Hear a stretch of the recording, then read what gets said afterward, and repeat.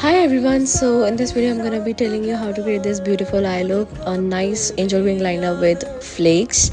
So time to start this off and I am prepping the eyes by this Maybelline Age Rewind concealer. Now time to blend this out very seamlessly and now I am taking a little bit of powder on the blending brush of mine and setting this up time to add some of the colors on the lids.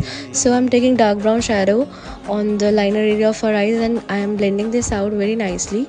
Now time to add uh, orange color on the above crease area of her eyes and the crease area also. And i'm gonna blend this off with nice yellow color on the above crease area and the crease area of her eyes. And now i'm adding a little bit of dark brown and black color on the liner area and time to add some of the shimmers on the center of her lid. And i'm applying flakes with the help of this makeup studio glue.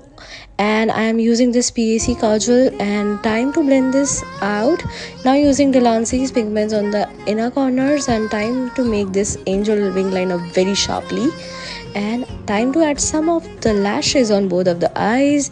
And voila this is the look that i have created by very nice products. I hope that you guys like my tutorial. So do follow for me that and do comment